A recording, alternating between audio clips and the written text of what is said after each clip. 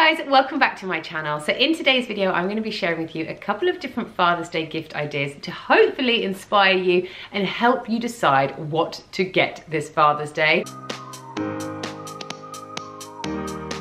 My kids love having like a combination of gift ideas. They like some store-bought gift ideas, some DIY gifts, and some baked goods as well. So I'm gonna be showing you a combination of all three. And like I said, hopefully this will give you some ideas of how to make your Father's Day a little bit more unique this year. So every single year when the kids are at school, they always make a Father's Day card there. But what they also like to do is they love to buy their own Father's Day card as well. So yesterday, the boys and I went online to try and find some Father's Day cards and we went onto Amazon because that's pretty much my favorite shop because next day delivery saves my life quite often. And the boys found these pop-up cards by Hallmark. And as soon as they knew they were cards that popped up, they were like, we have to get that for dad. And that's when I found out that Hallmark actually have a whole shop on Amazon. They sell loads of different cards, loads of different packaging solutions, and loads of different wrapping paper as well. They have such a variety. So we went on there and we pretty much ordered everything that we needed on there. I also got some packaging bags, so once my DIY is ready, I could pop them into these bags and make the gifts look a little bit more special too. So look what has just arrived. This is the bundle of stuff that I ordered from Hallmark, from Amazon. And it's got all the different cards and packaging bags that I've ordered. It's also got a little mug in here as well, but I'm gonna lay everything out and show you what I have got.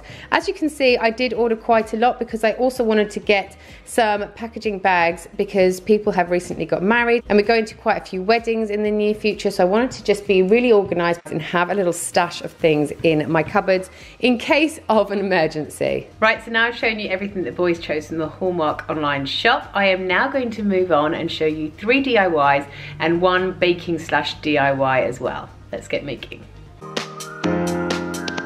So for this photo transfer DIY, you are going to need a keepsake box or any other piece of wood that you would like to use. You're also going to need a picture of your choice and you want to have that printed on a normal piece of paper via an inkjet printer. This is a really important step because it will not work from photo paper. You need some paint and you also need some Mod Podge glue or this is actually a PVA and water mix. What you need to do first of all is to just paint your box or your piece of wood. I went for a white because I thought it looked really nice with the picture I had chosen. Once it's completely painted and all dry, you then need to cut your picture to size. You then need to put a layer of your Mod Podge glue or PVA glue on the top of your box and then place your photo face down onto the box. Make sure you try and get as many bubbles out of your picture as possible. This is sometimes very hard because I do have a couple here. Once you've got that down, you want to paint another layer of your PVA glue on top and leave it to dry overnight. Once it's completely dry, you are then ready to get some water and your fingers and just wet the whole of the surface of the picture and slowly rub the picture away. After a little while, while you'll see that the top layer of the piece of paper starts to peel off. Be very, very careful because as you can see, I have rubbed a little bit too hard in a couple of areas here and more of the picture has come off. But again, I just think it adds to the whole effect. Once you've rubbed off the top layer of the picture, you will be able to see the transferred image underneath. You can then fill your box with whatever treats you fancy and you are done. What you're going to need for this DIY is one of these box frames. Mine is just from Ikea. You're going to need some favorite chocolates and then also this sticker which can be purchased on eBay for a couple of pounds. What you just need to do is open the back of your frame, throw all the chocolates in there, put the back back onto the photo frame, and then when you turn it over onto the glass, you want to transfer the sticker onto it. So what I did is I cut my sticker in half and on the top bit it says bad day in case of emergency and then at the bottom I decided to put the break glass sign. I just think this is a really fun gift. These are Chris's favorite chocolates in the world so I know this glass will probably get smashed in about 0.3 seconds time.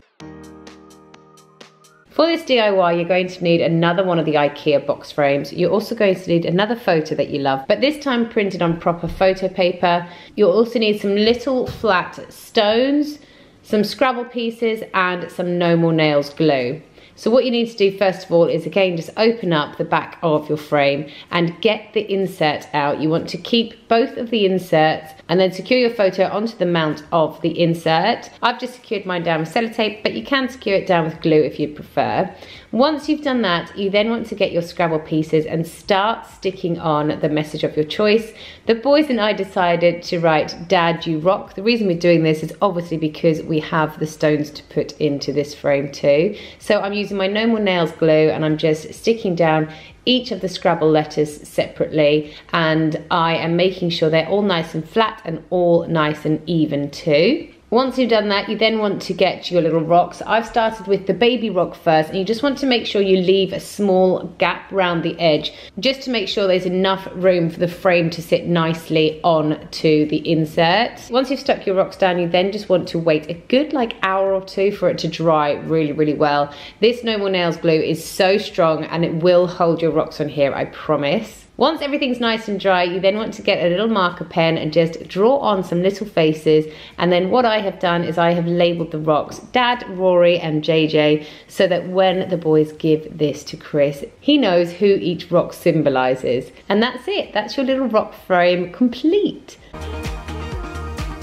To make these shortbread biscuits, you need 125 grams of butter, 55 grams of caster sugar, and 180 grams of plain flour. Mix it all together, and then you want to roll it out onto your worktop. Just make sure you put some flour down first so it doesn't stick. And then once you've rolled it out to about half a centimeter in thickness, you then want to cut out some shapes with your cookie cutters. You then want to put it into the oven at 190 degrees centigrade for about 15 to 20 minutes or until they start to turn golden brown. So while those are in the oven baking, you just want to make a really simple cookie holder. And to do that, you need just a paper plate and some sellotape.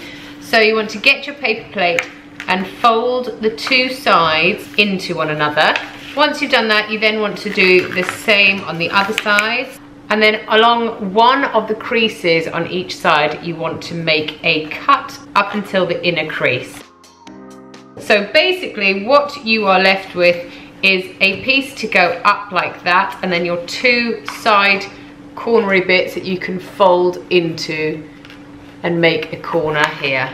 Once you've done that, you can then secure them down with tape. And there you have a little cookie holder. So what you can do here is you can either decorate it, but because we have got the nice bags to put it in, I'm just gonna put some tissue paper underneath the cookies and then some tissue paper on top as well.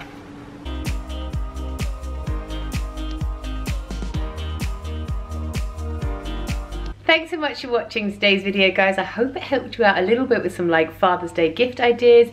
Give me a thumbs up if you liked it and I will see you again next time. Bye!